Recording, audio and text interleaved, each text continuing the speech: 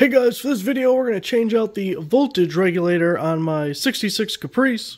Picked up this new one on Amazon, and here's the old one which I've taken the cap off of. You can see that doesn't look good. Now the reason, every time I come out here to start the car, the battery's dead, so I got to draw. So what I did to test for that is this is a quick disconnect at the battery. So this cable is actually disconnected from the battery. Got multimeter out on amps. I got it grounded to the right there at the horn. I'm going to take the other lead, put it to the battery.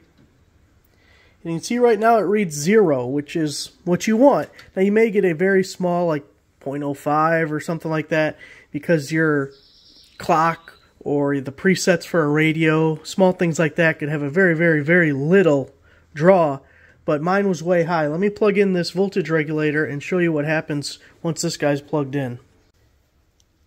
You see the old regulator plugged in over there. Now watch when I touch the probe to the battery, I have a draw of 2.13. New one's plugged in, same thing, probe over here on the battery.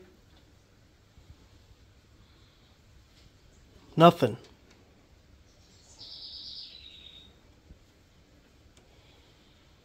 So that's one way to determine, one, a bad voltage regulator, but also to check for a parasitic draw on your battery.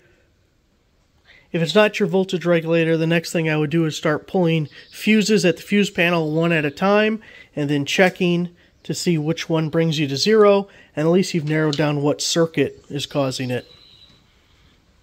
So there it is. Thanks for watching.